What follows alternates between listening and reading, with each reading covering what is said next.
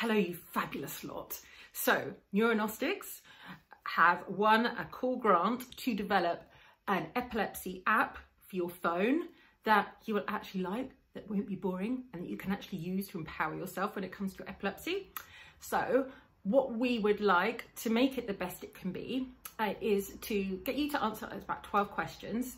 Um, what is important to you, um, what you would prioritize when it comes to an app, and basically what how we can take things forward for the future. So we've got like limited funds at the moment but we want to get some cool um, stuff in place. So it will be recording information for your usage um, so that you can speak to your neurologist a bit more easily. And then it will be about you're going to have like access to a couple of videos um, and information about epilepsy research.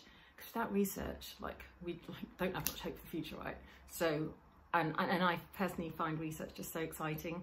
Um, so please, if you could look at the link below, um, fill that in, share it with anybody else you know affected by epilepsy. And we can, because the more data we get for this, the more effective we can make the app. And that's what we all want, right? So thanks very much. Check out the link below.